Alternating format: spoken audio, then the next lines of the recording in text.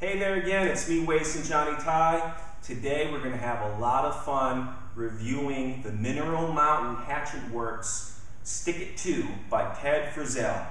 This is one of the best knives I've received in a long time. It's a custom, okay? It is a 1095 high carbon steel with a six and a half inch blade.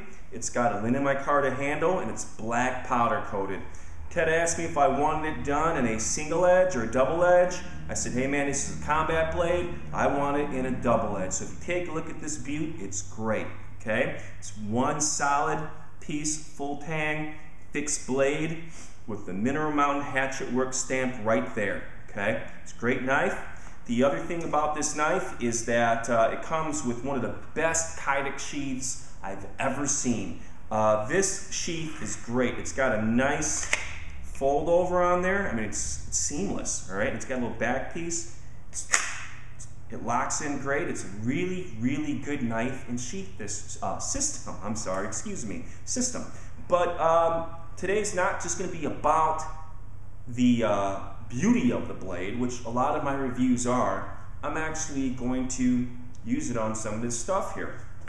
Let's just put the sheath aside for a moment. I have some uh, old kung fu sashes that I've been cutting up, right? Just cut through these like butter. It's one,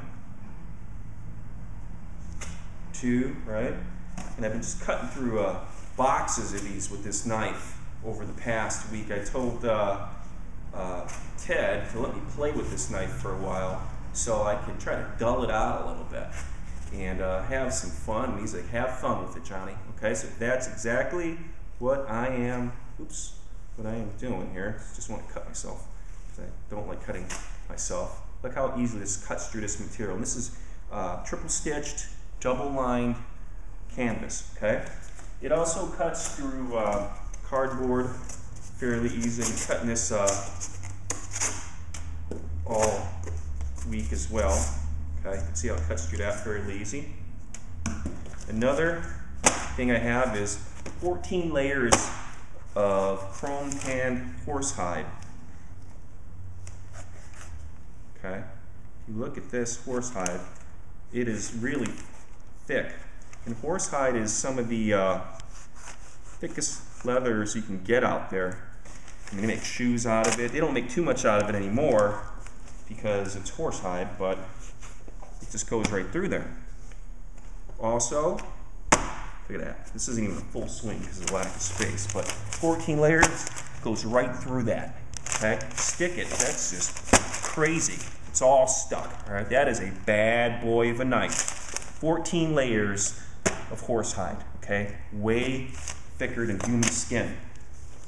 Now, the reason I compared it to human skin is because this is a, a, a, combat knife. Okay?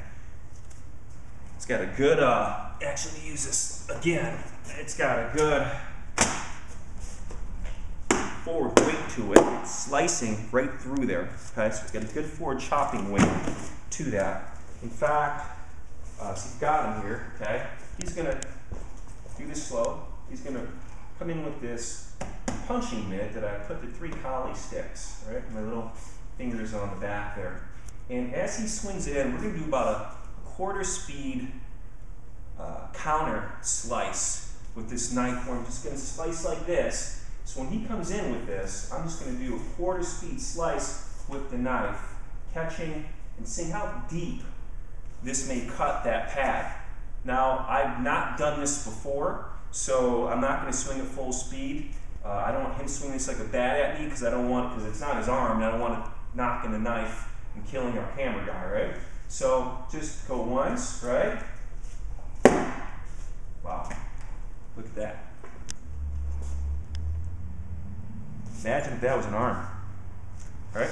Do it one more time. Let's get one more slice. Keep it nice and flat coming at me, all right? Oh, where did that one go? I don't know. I must have hit it awkward. One more time. All right? Oh, you want to do it? I'm hitting the tape here. Or the zipper. One more time. Hmm. Okay?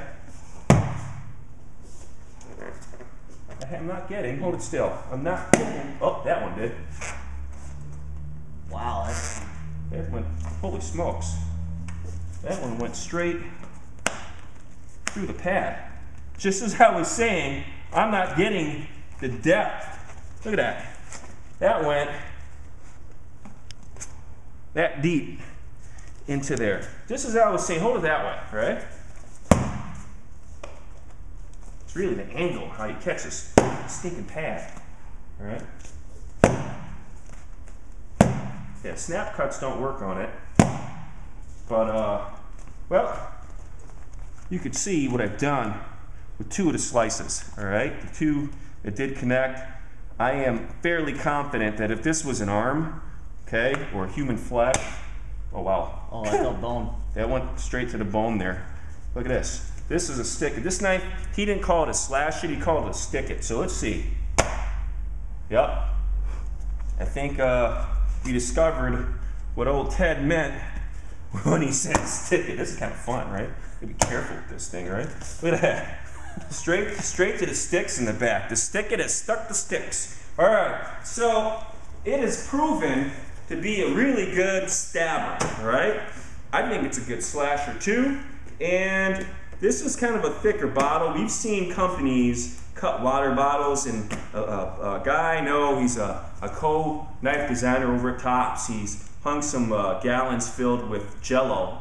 His name is Colin Despins. Um, really, really cool idea. So I filled a Ice Mountain gallon bottle with four packets of Jello.